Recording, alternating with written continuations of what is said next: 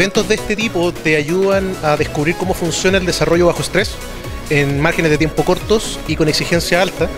Y eso sirve como lección de recordatorio para desarrolladores profesionales con experiencia que a final de cuentas ya se la saben, pero que venir a esto les refresca cómo funciona el desarrollo acelerado.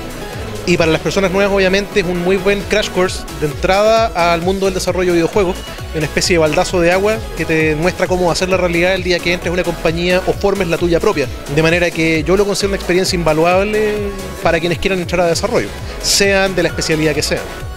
Mira, nosotros como Game Dev Comunidad UC eh, habíamos organizado otros workshops, otras charlas y queríamos hacer algo para esta fecha eh, porque sabíamos que se hacía algo.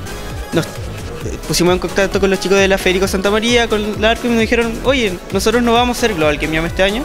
Entonces fue la perfecta oportunidad para nosotros tomar la rienda y decir, bueno, eh, hagamos Global Game Jam, agarramos vuelo y hacemos este evento que, tanto queríamos hacer. Realmente muy feliz de que, por ejemplo, el equipo estén bien sincronizados, estén trabajando todos juntos, eh, hayan, sacado una idea, estén trabajando apoyándote entre, entre grupos, ¿cachai?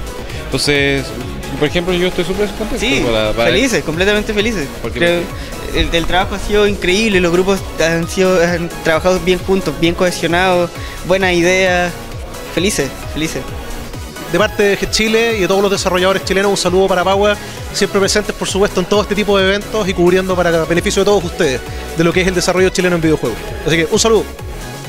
Un saludo a Pagua.cl que nos ha acompañado durante esta actividad y muchas gracias por estar aquí y apoyar en la actividad.